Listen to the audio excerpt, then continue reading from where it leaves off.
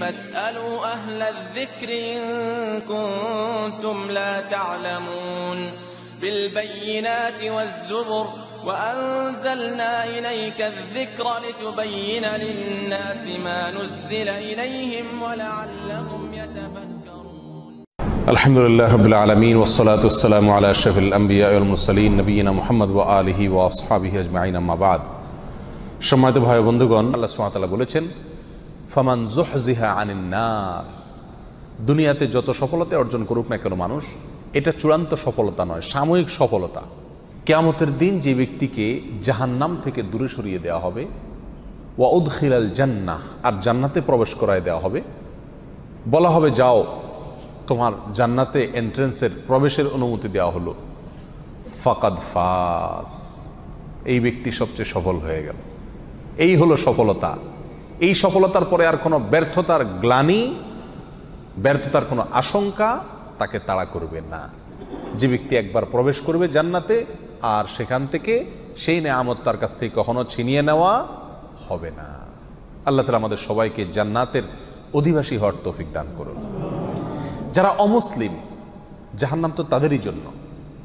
কিন্তু মুসলমানদের মধ্যেও এরকম বহু হতবাগা বহু কপাল পড়া মানুষ আছেন যারা তাদের কৃতকর্মের কারণে জান্নাতে যাওয়ার সৌভাগ্য থেকে বঞ্চিত হবেন, তারাও জাহান্নামে যাবেন। রসুল্লাহ আকরাম সাল্লাহ সাল্লামের বিভিন্ন হাদিস থেকে সেরকম সতেরোটি শ্রেণির কথা আজ আমরা উল্লেখ করব। যেই সতেরো শ্রেণির লোক, এরা জান্নাতে ঢুকে চূড়ান্ত সফলতা এবং সার্থকতা অর্জন করবার সৌভাগ্য থেকে বঞ্চিত হবে। বরং এরা জাহান নামে যাবে, এরপরে তাদের সেখানে শাস্তি হওয়ার পরে কোনো কালে আল্লাহ সুমাতালার দয়া হলে তখন তারা জান্নাতে আসবে। তাহলে মুসলিম হয়েও যে সমস্ত লোকেরা জান্নাতে যাওয়ার সৌভাগ্য অর্জন করবে না, এই সৌভাগ্য থেকে বঞ্চিত হবে সেই হতভাগা লোকদের ভিতরে। এক নম্বর হলেন, অবৈধভাবে হারাম পথে উপার্জন করে যে ব্যক্তি দেহ গঠন করেছে, ওই দেহ জান্নাতে প্রবেশ করবে না। ওই দেহের জন্য জান্নাত হারাম নো এন্ট্রি সে যতই ভালো কাজ করুক না কেন, তার দেহ যদি হারাম খাদ্য দিয়ে তৈরি হয়, তাহলে সেই দেহ জান্নাতে প্রবেশ করবে না। এ বিষয়ে নবী আলাইসালামের বহু হাদিস রয়েছে। নাম্বার দুই, আত্মীয়তার সম্পর্ক ছিন্নকারী ব্যক্তি। যেই কোনো অজুহাতেই হোক না কেন, নিজের ভাইয়ের সাথে, নিজের বোনের সাথে, মায়ের সাথে, বাবার সাথে, ফুফুর সাথে, চাচার সাথে, মামুর সাথে, খালার সাথে, চাচাতো ভাই বোনের সাথে, ফুফুর সাথে সংশ্লিষ্ট যারা আছে, তাদের সাথে। এক কথায়, রক্ত সম্পর্কীয় যত আত্মীয় আছে, তাদের সাথে। এবং কি, শ্বশুরবাড়ির লোকজন আছে কোনো যুক্তিসঙ্গত কারণ ছাড়া তাদের সাথে আপনি সম্পর্ক ছিন্ন করলেন। আত্মীয়র সাথে সম্পর্ক যে ব্যক্তি ছিন্ন করে, এই ব্যক্তির জন্য জান্নাতে প্রবেশের সুযোগ নাই। নবী আলাইসাল্লাম বলেছেন লাইয়াদুল জান্নাতা কাতে। যে ব্যক্তি আত্মীয়তার সম্পর্ককে ছিন্ন করে ফেলে, কোনো সম্পর্ক রাখে না, কথাবার্তা বন্ধ করে দেয়, উঠা বসা বন্ধ করে দেয়, এই ব্যক্তি জান্নাতে প্রবেশ করবে না। আপনার জান্নাতে যাওয়ার স্বার্থেই আপনাকে রক্ত সম্পর্কে আত্মীয়দের সাথে কি করতে হবে? সম্পর্কটাকে রক্ষা করে রাখতে হবে। তৃতীয়ত, মুসলিম হয়েও যে ব্যক্তি জান্নাতে প্রবেশ করতে পারবে না ভাই, তিনি হলেন ওই ব্যক্তি যে তার প্রতিবেশীকে কষ্ট দেয়। পাশের জমিনওয়ালার আইল ঠেলাঠেলি করে, পাশের বাড়ির লোকের ছাদের উপরে ময়লা ফেলে হ্যাঁ? জোরে সাউন্ড দিয়ে গান শুনে পাশের প্রতিবেশীর কষ্ট হয়। এক কথায়, প্রতিবেশীকে যারা কষ্ট দেয়, এই লোকগুলো জান্নাতে যাবে না, এ বিষয়ে সহি মুসলিমের ভিতরে সুস্পষ্ট হাদিস রয়েছে। যে হাদিসের আলোকে জানা যাচ্ছে যে যে ব্যক্তি তার প্রতিবেশীকে কষ্ট দেয়, সে জান্নাতে প্রবেশ করতে পারবে না। অতএব আমার আশেপাশে যারা বসবাস করবে, প্রতিবেশী যারা থাকবেন, তাদের সাথে সম্পর্ক ভালো রাখার চেষ্টা করতে হবে। সম্পর্ক ভালো রাখতে পারেন না পারেন, অন্তত আপনার কোনো আচরণ দ্বারায়, আপনার কোনো কাজ দ্বারা যেন তাদের কোনো কষ্ট না হয়। নাম্বার চার মা বাবার অবাধ্য সন্তান যেই সন্তান তার মা বাবার ন্যায্য নির্দেশকে অমান্য করে, লঙ্ঘন করে, পাত্তা দেয় না মানে না। এই সন্তানের জন্য জান্নাত নিষেধ। সে যত নেকামল করুক, সে যত ভালো কাজ করুক, যত নামাজ কালাম পড়ুক, কপালে দাগ ফেলায় দেখ কোনো ফায়দা নাই। তার জান্নাতে যাওয়ার সুযোগ নাই। যদি সে কি করে? মা বাবার নির্দেশকে লঙ্ঘন করে। আল্লাহ এবং তার রসুলের নির্দেশের পরেই আল্লাহর জমিনে যদি কারণ নির্দেশ মানা জরুরি হয়, বাধ্যতামূলক হয়, তিনি হলেন কে? মা এবং বাবা। যদি তারা আল্লাহর নির্দেশের বাইরে কিছু করতে বলে, অন্যায় করতে বলে, তাহলে সেটা মানা যাবে না। অযৌক্তিক কিছু করতে বলল সেটা মানা যাবে না। কিন্তু যুক্তিসঙ্গত যত নির্দেশ করবে, সেটা আপনাকে মানতে হবে। আর যদি সেটা মানা আপনার জন্য অসম্ভব হয়, আপনার সাধ্যের বাইরে কোনো কিছু নির্দেশ করে, তাহলে তো আর আপনার কিছু করার নাই। তবে কোনো অবস্থাতে ব্যবহার খারাপ করা যাবে না। মা বাবার সাথে যারা সম্পর্ক নষ্ট করে, তারা জান্নাতে যেতে পারে না। মুসাদাকা হাকিমের বিষয়ে হাদিস রয়েছে। নাম্বার পাঁচ, মুসলমান হয়েও যারা জান্নাতে যেতে পারবে না, তাদের ভিতরে পাঁচ নম্বর ব্যক্তি হলো ভাই। অশ্লীল ভাষায় কথা বলে যে, গালিগালাজ করে যে, কথায় কথায় আজে বাজে মন্তব্য করে এবং উগ্র মেজাজি। মানুষকে সবসময় দমায় রাখার চেষ্টা করে, দাবায় রাখার চেষ্টা করে। কখনো মানুষকে পাত্তা দেয় না, সাইড দেয় না, সবসময় সেই উপরে থাকার চেষ্টা করে। গোয়ার কিসিমের লোক যেটাকে বলা হয়। স্পষ্টভাবে হাদিসের ভিতরে এসছে যে এই শ্রেণির লোক কি করবে না, জান্নাতে যাবে না? সুরনা আবু দাউদ এবং হাদিসের কিতাবে হাদিস রয়েছে। মুসলমান হয়েও যারা জান্নাতে যাবে না, সেই লোকদের মধ্য থেকে ছয় নম্বর হলেন সে সমস্ত শাসকেরা সেই সমস্ত নেতারা, যারা তাদের প্রজাদেরকে, যারা তাদের অধীনস্থ লোকদেরকে ধোকা দেয়। আজ দুনিয়ার কয়জন শাসক এর থেকে বাঁচতে পারবে, সেটা আল্লাহ ভালো জানেন। বলেন একটা, করেন আরেকটা। নির্বাচনের আগে ওয়াদা করেন একটা, ধোকা দেন পরে আর সেটা পালন করেন না। তো সে সমস্ত শাসকেরা যারা তাদের প্রজাদেরকে, অধীনস্থদেরকে ধোকা দেয়, তারাও জান্নাতে প্রবেশ করতে পারবে না। এ বিষয়ে সই বুখারিতে হাদিস রয়েছে। সাত নম্বর, মুসলমান হয়েও যে ব্যক্তি জান্নাতে যাবে না, সে হলো অন্যের সম্পদ যে আত্মসাৎ করে। প্রথম শ্রেণীটা ছিল যে হারাম মাল বক্ষণকারী। সেটা আল্লাহর হক নষ্ট করে হতে পারে। আর এই সাত নম্বর পয়েন্টটা হলো, যে কোনো মানুষের হক আপনি নষ্ট করে টাকা কামাই করলেন। যেভাবেই হোক সেটা, ধোকা দিয়ে হোক, প্রতারণা করা হোক, হাওলাত নিয়ে আটকায় দিয়ে হোক, চান্সে চুরি করে হোক, অথবা চিটারি করি হোক, যেই কোনোভাবে অন্যের সম্পদ যদি আত্মসাৎ করেন গায়ের জোরে বা বুদ্ধির জোরে, আর করে সেটা আপনি দখল করে ফেলেন, তো মনে রাখবেন এই ব্যক্তির জন্য জান্নাতে যাওয়ার কোনো সুযোগ নাই। নাম্বার আট, উপকার করেও যে ব্যক্তি খোঁটা দেয়। কাউকে উপকার করছে, করে কি করে? খোঁটা দেয়। এই ব্যক্তি জান্নাতে যাবে না। মদ পানকারী ব্যক্তির কথাও আছে হাদিসে, সুনান নাসাইর, যে উপকার করে কাউকে খোটা দিলেন, উপকার করছেন, জীবনে কোনোদিন বলতে পারবেন, আমি তোমার জন্য করছি। তাহলে আল্লাহর কাছ থেকে তো বিনিময় পাবেনই না, উপরন্ত শাস্তি হিসাবে জান্নাতেও আপনার প্রবেশের সুযোগ থাকবে না। সাবধান। কারোর জন্য কিছু করেছেন জীবনে, মুখের বাহির সেটা কোনোদিন করা যাবে না। আর যদি করছেন, তাহলে এই উপকার করার চাইতে না করা আপনার জন্য ভালো ছিল। কারণ না করলে আপনি কোনো গুণাগার হতেন না, কিন্তু করার কারণে, করে খোঁটা দেওয়ার কারণে আপনি জাহান্নামি হচ্ছেন। গুনাহ করছেন। আল্লাহ তালা আমাদেরকে হেফাজত করুন। নাম্বার নয়, চগলখোর ব্যক্তি ভাই, চগলখোর। যে ব্যক্তি এর কথা ওর কাছে লাগায়, ওর কথা এর কাছে লাগায়। সবার কাছে ভালো থাকার চেষ্টা করে, মুনাফেক কিসিমের লোক। এরা সমাজের সমস্ত ঝগড়া, ফাসাদ লাগানোর ক্ষেত্রে মূল ভূমিকা রাখে। আল্লাহ মাফ করুন, এই চরিত্র আমাদের অনেকের ভেতরেই কম বেশ আছে। এই চগলখোর লোক জান্নাতে প্রবেশ করবে না সৈয় মুসলিম হাদিসে রয়েছে। নাম্বার দশ, অন্যের পিতাকে যে নিজের পিতা বলে পরিচয় দেয়। অনেক পালক পুত্র আছে, নিজের জন্মদাতা বাবাকে বাবা হিসাবে পরিচয় দেয় না। যে লালন পালন করে, তাকে বাবা হিসাবে পরিচয় দেয়। তো অন্যের পিতাকে যদি নিজের পিতা হিসাবে পরিচয় দেয়, এই ব্যক্তিও জান্নাতে প্রবেশ করবে না এবং সৈবহারিতে হাদিস রয়েছে, যদিও সে কি হয়? মুসলমান হয়।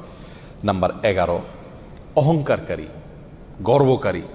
যে ব্যক্তি খুব অহংকার করে, দাম্ভিকতা দেখায়, অহমিকা দেখায় হ্যাঁ প্রদর্শন করে, অথবা মনে মনে নিজেকে খুব বড় মনে করে, এই কপাল পড়া যত ভালো মানুষই হোক, সে মুসলমান হয়েও কি করতে পারবে না? জান্নাতে যেতে পারবে না? নবী আলাইসাল্লাম বলেছেন লায়াদ খুলুল জান্নাতা মান কানা ফি কলবিহি মিসকালু মিন কিবর। যার অন্তরে বিন্দু পরিমাণে সরিষার দানা পরিমাণে বা অনুপরিমাণে অহংকার আছে এই ব্যক্তি জান্নাতে প্রবেশ করবে না। বিনয়ী মানুষেরা জান্নাতে যাবে, বিনয়ী, যারা নিজেকে ছোট মনে করে, সবসময় অন্যকে বড় মনে করে। নিজের দোষের কথা আগে দেখে, নরম থাকে, অহংকার করে না, এই লোকগুলো জান্নাতি। আর যারা অহংকার করে, এই লোকগুলো জাহান্নামি। আল্লাহ তালা আমাদেরকে হেফাজত রাখুন। বারো নম্বর, যে ব্যক্তি মুসলিম হয়েও জান্নাতে যাবে না, জান্নাতে যাওয়ার সুযোগ থেকে বঞ্চিত হবে, আর সে ব্যক্তি হলো ওই ব্যক্তি যে ব্যক্তি রসুল্লাহ সাল্লা সাল্লামের নাফরমান রসুল্লাহ সাল্লাহ সাল্লামের নির্দেশ জানার পরেও সেটাকে কি করে না? কেয়ার করে না। বাপদাদার নির্দেশকে অগ্রাধিকার দেয়, চোদ্দ গোষ্ঠী কী করে আসছে সেটাকে অগ্রাধিকার দেয়, পীর সাহেব কী বলছেন সেটাকে অগ্রাধিকার দেয় যদি রসুল সাল্লাহ সাল্লামের কথার বিপরীত হয়। এরকম যদি হয় তাহলে সেই ব্যক্তি জান্নাতে প্রবেশ করবে না। নবী আলাইসালাম বলেছেন, কুল্ল উম্মতি ইয়াদখুলুন আল জান্নাতা ইল্লা মান আবা। আমার উম্মতের প্রত্যেক সদস্য সবাই জান্নাতে যাবে। শুধু যে অস্বীকার করল সে জান্নাতে যেতে পারবে না। সাহবা একরাম প্রশ্ন করলেন ওমাই আবা ইয়া রসুল আল্লাহ আল্লাহ রসুল, অস্বীকার করছে কে? তিনি বলেছেন, মান আতা আনি দাখালাল জান্নাহ ওমান আসানি ফকাদ আবা। যে ব্যক্তি আমার হুকুমকে, আমার নির্দেশকে মান্য করেছে, মেনে চলেছে, সে জান্নাতে যাবে। আর যে আমার নির্দেশকে মান্য করে নাই, সে অস্বীকার করল। আর যে অস্বীকার করল, সে জাহান্নামে যাবে, সে জান্নাতে যাবে না। নাম্বার তেরো, মুসলিম হয়েও যে ব্যক্তি জান্নাতে যাবে না, সে ব্যক্তি হলো ওই মহিলা, যে মহিলা অকারণে স্বামীর কাছ থেকে তালাক চায় কথায় কথায়। আমাদের মা বোনদের ভিতরে, অনেকের ভেতরে এই চরিত্র আছে, এই দোষ আছে। কথায় কথায় স্বামীর কাছ থেকে তালাক চায়। এর আগে এক আলোচনায় বলেছিলাম, ইবলিস শয়তানের কাছে সবচেয়েতে প্রিয় কাজ, যেই কাজে ইবলিস শয়তান সবচেয়েতে বেশি খুশি হয়, সেটা হলো একটি দাম্পত্য জীবনে যখন বিচ্ছিন্নতা এসে যায়, স্বামী স্ত্রীর ভিতরে যখন বিচ্ছেদ ঘটে যায়, তখন শয়তান সবচাইতে বেশি খুশি হয়। একজন মানুষ হত্যা করলে, একজন মানুষ মদ পান করলে, একজন মানুষ চুরি করলেও শয়তান এত খুশি হয় না যত খুশি হয় পারিবারিক জীবনে বিচ্ছিন্নতা ঘটে গেলে। এই জন্য এই বিচ্ছিন্নতা চাওয়া, তালাক চাওয়া, এটাও দোষের বিষয়। কোনো মহিলা যদি রাগের কারণে তালাক চায় স্বামীর কাছে কথায় কথায়, তাহলে এরাও জান্নাতে প্রবেশ করবে না। আল্লাহ তালা আমাদের মা বোনদেরকে হেফাজত করুন। সুনানে তিরমিজিতে এই বিষয়ে হাদিস রয়েছে। নাম্বার চোদ্দ, মুসলিম হয়েও যারা জানাতে যাবে না তারা হলো দুনিয়ার উদ্দেশ্যে যারা ইলিম অর্জন করে। দুনিয়ার উদ্দেশ্যেই কি করে? ইলিম অর্জন করে। কোরআন হাদিস শিখে পয়সা কামাই করার জন্য, চাকরি করার জন্য বা এটা বিক্রি করে খাওয়ার জন্য। এই ধান্দা যদি এলেম অর্জন করে, তাহলে সে ব্যক্তিও জান্নাতে প্রবেশ করবে না। যদি কেউ দুনিয়াতে এলেম শেখে কিসের জন্য? দুনিয়ার কোনো ধান্দা, দুনিয়ার কোনো উদ্দেশ্যে। মানুষের কাছে বড় সাজবে হ্যাঁ? মানুষের কাছে মর্যাদা পাবে, সম্মান পাবে মৌলানা সাহেব হবে, মুফতি সাহেব হবে, বক্তা সাহেব হবে, টাকা পয়সা কামাবে, দাওয়াত টাওয়াত খাবে। এই ধান্দা যদি কোনো মৌলবী মৌলবী হয়, কোনো মানুষে এলেম শিখে, তাহলে সে ব্যক্তিও জান্নাতে যেতে পারবে না। আল্লাহ তালা আমাদেরকে হেফাজত করুন। নাম্বার পনেরো, যে ব্যক্তি মাথায় কালো কলব ব্যবহার করে চুলের মধ্যে, দাড়ির মধ্যে, পিওর কালো কলব যেখানে কোনো প্রকার মেদি টেদির মিক্সও নাই, একবারে পিওর কালো কলব ব্যবহার করে, এই ব্যক্তিও জানাতে যাবে না সুরেনা সেটা হাদিস রয়েছে। নাম্বার ষোলো, রিয়াকারী ব্যক্তি যে ব্যক্তি আমল করে, ভালো কাজ করে মানুষকে দেখানোর জন্য। বিশেষ করে আজ, প্রিয় ভাইরা অর্থনৈতিক যত ইবাদত আছে, এগুলোর ভেতরে উদ্দেশ্যের অসাধুতা প্রচণ্ড পরিমাণে থাকে। আমরা এগুলো করি, অথচ ধান্দা থাকে, মানুষ আমাকে বাহবা দিবে হ্যাঁ? আমাকে দানবীর বলবে বা সবাই জানবে যে আমি দান টান করি। সবার কাছে আমি এটা ভালো সাজবো। এই একটা মানসিকতা কাজ করে, এটাকে রিয়া বলা হয়, লৌকিকতা বলা হয়। আপনি কোনো নেকামল, কোনো ভালো কাজ, সেটা অর্থনৈতিক হোক আর শারীরিক ভালো কাজ হোক, এটা করে যদি মানুষকে দেখানোর উদ্দেশ্যে করে থাকেন, তাহলে সেই আমলটি নেকামল হয়ে আপনার জন্য জান্নাতে যাওয়ার কারণ হওয়া তো দূরের কথা, এটি বরং আপনাকে জাহান নামে নিয়ে যাবে, এটা শিরকে আসগর। নবী আলাইসালাম বলেছেন, আখেরি জামানায় শেষ যুগে, কিয়ামতের আগে দাজ্জালের যে আতঙ্ক হবে, যে আতঙ্কে তার ভেলকিতে অনেক মুসলমান অমুসলমান হয়ে যাবে বিমান হারা হয়ে যাবে। সে আল্লাহ দাবি করবে এবং অনেক কুদরত দেখাবে তার, দেখে অনেকে ভেলকিতে পড়ে যাবে। সেই সময়ে তোমাদের জন্য ইমানের উপরে টিকে থাকা যত কঠিন হবে, সেই সিচুয়েশনে তোমরা যে বিপদে পড়বে, সেটাকে আমি যতটা ভয় পাই, তার চাইতে বেশি ভয় পাই তোমাদের জন্য এই শিরকে আসগরকে। অর্থাৎ এমন এক সময় আসবে যখন যত আমল করবে মানুষ, সবগুলোই মানুষকে দেখানোর জন্য করবে। আল্লাহকে খুশি করার জন্য কোনো আমল খুঁজে পাওয়া কঠিন হয়ে যাবে। এই সে রিয়া, লৌকিকতা, মানুষকে দেখানো, মানুষের কাছে বাহবা কুড়ানো, মানুষের কাছে সুনাম অর্জন করার জন্য যদি যে কোনো ভালো কাজ করা হয়, তাহলে এই ব্যক্তি জান্নাতে প্রবেশ করবে না সই বুখারে, সই মুসলিমে সই মুসলিমে বিষয় হাদিস রয়েছে। নাম্বার সতেরো, ওয়ারিশকে বঞ্চিতকারী ব্যক্তি। যে ব্যক্তি তার পরিত্যক্ত সম্পত্তি থেকে তার কোনো ওয়ারিশে কি করে? মাহরুম করে, এই ব্যক্তি জান্নাতে যাবে না। সুরন ইব্রাহিম আজাদ এই বিষয়ে হাদিস রয়েছে। সময় তো ভাইয়েরা, কোনো ওয়ারিশ আপনার কোনো সন্তান, আপনার কোনো ওয়ারিশ, সে যদি অন্যায় করে আপনাকে শরীয়ত অধিকার দেয় নাই, এটা বলে যাওয়ার যে আমি মরার পরে তাকে আমার কোনো সম্পত্তির ভাগ দিবা না। বহু মা বাপ এই কাজটি করেন।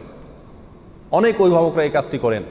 বলে যান মৃত্যুর আগে, আমি মারা যাওয়ার পরে সে আমার লাশের কাছে আসবে না, আমার জানাজা পড়তে আসবে না, সে এগুলোর চেয়ে বড় কথা হলো, সে আমার সম্পত্তিতে কোনো ভাগ পাবে না, সেজন্য ভিটাতে না আসে।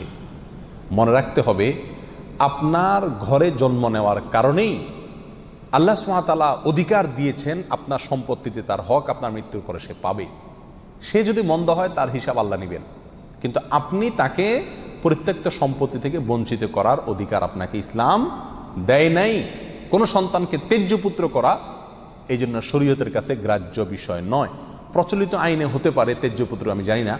কিন্তু ইসলামের দৃষ্টিতে তেজ্য পুত্র করার কোনো সুযোগ নাই। হ্যাঁ অমুসলিম হলে সে সম্পত্তি পাবে না, সেটা ভিন্ন বিষয়। কিন্তু যতক্ষণ পর্যন্ত মুসলিম থাকবে, ততক্ষণ পর্যন্ত পরিত্যক্ত সম্পত্তি তা কী করা যাবে না, বঞ্চিত করা যাবে না। যদি কেউ করে, তাহলে সে কী হবে না, জান্নাতে প্রবেশ করতে পারবে না। এই সতেরো শ্রেণির লোক, এরা মুসলিম হয়েও কি করতে পারবে না, ভাই? জান্নাতে যেতে পারবে না। এর ভিতরে বেনামাজি, তার কথা তো বলাই বাহুল্য। কারণ ইচ্ছাকৃত নামাজ যদি ত্যাগ করে সব সময়, তাহলে তো ওলামা একরামের অনেকের মতো সে মুসলমানই না। আমরা এখানে বলেছি যে মুসলমান পাচক্ত নামাজ কালাম পড়ে এর পরেও জাহান নামে যাবে যারা, তারা হলো সতেরো শ্রেণির লোক। আমরা এক নজরে আবারও বলে দিচ্ছি, হারাম খাদ্য যে গ্রহণ করে, এক। দুই, আত্মীয়তার সম্পর্ক ছিন্ন করে যে। নাম্বার তিন, প্রতিবেশীকে যে কষ্ট দেয়। নাম্বার চার মা বাবার অবাধ্য সন্তান মা বাবার কথা শোনে না সে। নাম্বার পাঁচ, উগ্র মেজাজি, তেড়া, গোয়ার, সব সবাইকে দমায় রাখে, এই টাইপের লোক। নাম্বার ছয় অধীনস্থদেরকে, প্রজাদেরকে যে সমস্ত শাসকেরা, যে সমস্ত রাজারা, যে সমস্ত রাষ্ট্রপ্রধানেরা, সরকার প্রধানেরা বা যে যে লেভেলে আছে সে তার প্রজাদেরকে ধোকা দেয় যে তারা নাম্বার সাত, অন্যের সম্পদকে অন্যায়ভাবে আত্মসাৎকারী ব্যক্তি নাম্বার আট, উপকার করে কারোর খোঁটা দেয় যে ব্যক্তি সে জান্নাতে যাবে না।